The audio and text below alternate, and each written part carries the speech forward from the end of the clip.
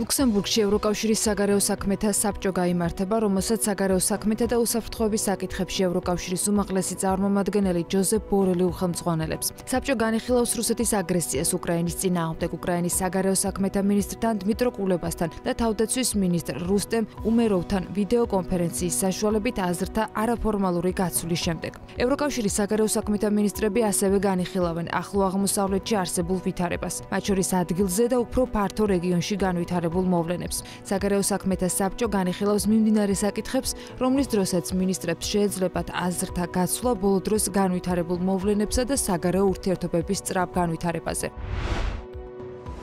გერმანიის კანცლერმა ოლაფ შოლცმა ისრაელის პრემიერ-მინისტრ ბენიამინ ნეთანიაჰუსთან სატელეფონო საუბარი გამართა და მოუწოდა თავიდან აიცილოს კონფლიქტის შემდგომი ესკალაცია ახლო აღმოსავლეთში და მისი გავრცელება რეგიონის სხვა ქვეყნებში. ამასთან დაკავშირებით გერმანიის მთავრობის პრესპიკერმა განაცხადა. შოლცმა დაადასტურა, რომ ფედერალური მთავრობა აგრძელებს მჭიდრო თანამშრომლობას პარტნიორებთან დიდი შვიდეულიდან და ევროკავშირიდან კოორდინაციას უწევს ძალისხმევას ახლო აღმოსავლეთის კონფლიქტის მოსაგვარებლად. თავის მხრივ სატელეფონო საუბრის დროს დროს ნეთანიაჰუმ გერმანელ კოლეგას რეგიონში არსებული ვითარების შესახებ მიაწოდა ინფორმაცია. ისრაელის პრემიერ-მინისტრ ბენიამინ ნეთანიაჰუს განცხადებით ისრაელი მალე ჰამას დამატებით და მტკივნეულ დარტყმებს მიაყენებს და გაზრდის ზეწოლას მასზე, რათა ღაზაში მყოფი მძევლები გაათავისუფლოს. ჩვენი 133 ძვირფასი და ძმა ჯერ კიდევ ჰამასის ჯოჯოხეთშია დატყვევებული, აღნიშნავს ნეთანიაჰუ. აღსანიშნავია, რომ ცეცხლის შეწყვეტის და მძევლების გათავისუფლების შესახებ შეთანხმების მისაღწევად მოლაპარაკებებში, რომელიც საერთაშორისო შუამავლების ჩართულობით კვირების განმავლობაში მიმდინარეობდა, ბოლო დროს აშკარა გარო დარღვევა არ ყოფილა.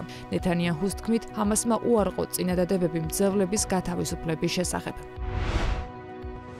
უკრაინამ შესაძლოა შეერთებული შტატებისაგან იარაღის ახალი პარტია კვირის ბოლომდე მიიღოს. ამის შესახებ შტატების სენატის დაზვერვის კომიტეტის ხელმძღვანელმა განაცხადა. უკრაინის დახმარების ახალი პაკეტი, რომელსაც შტატების წარმომადგენელთა პალატამ ხარი დაუჭირა და დასამტკიცებლად სენატს გაუგზავნა, შორ მანძილზე მოქმედ ATACMS-ის რაკეტებს მოიცავს, რომელსაც შეუძლია სამიზნეს 300 კილომეტრამდე მანძილზე დაარტყას. იარაღი გაიგზავნება როგორც კი შტატების პრეზიდენტი ჯო ბაიდენი ხელს მოაწერს კანონ პროექტს. აღნიშნავს ორნერი. ამერიკული ანალიტიკური ცენტრის Atlantic Council-ის მკვლევარი პიტერ დიკინსონი აცხადებს, რომ ATACMS-ის რაკეტები უკრაინას მისცემს საშუალებას სამიზნეებზე დარტყმა რუსეთის მიერ ოკუპირებულ ყველა რეგიონში განახორციელოს. სხვა ანალიტიკოსების აზრით, ATACMS-ის რაკეტები განსაკუთრებით ეფექტურია ისეთი სამიზნეების წინააღმდეგ, როგორიც არის თვითფრინავები, აეროდრომებზე საჰაერო თავდაცვის სისტემები, ნავთობგადამამუშავებელი ქარხნები და ლოგისტიკური ცენტრები.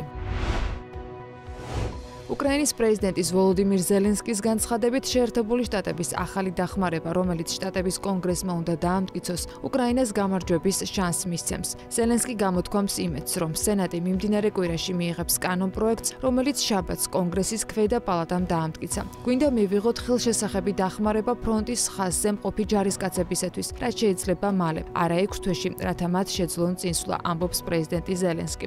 მისი თქმით, უკრაინას განსაკუთრებით ჭირდება შორ მანძილზე حکم دیگرقیم სომხეთმა სოფელ კირანცში სპეცნაზი გაგზავნა. Deutsche Welle წერს, რომ მოსახლეობა სომხეთსა და აზერბაიჯანს შორის საზღვრების დემარკაციას აპროტესტებს. Deutsche Welle-ის ინფორმაციით, კირანცის მოსახლეობა 19 აპრილის შემდეგ ბლოკავს ვოსკეპარ კირანცის მაგისტრალის მონაკვეთს, რის გამოც მთავრობამ ადგილზე სპეცრაზმის გაგზავნის გადაწყვეტილება მიიღო. Deutsche Welle სომხურ მედიაზე დაყნობით წერს, რომ სპეცრაზმა ადგილზე შეკრებილი მოსახლეობა გააფრთხილა, რომ თუ არ დაიშლებიან მათ წინააღმდეგ ძალას გამოიყენებენ, თუმცა მოსახლეობა კვლავ ადგილზე რჩება.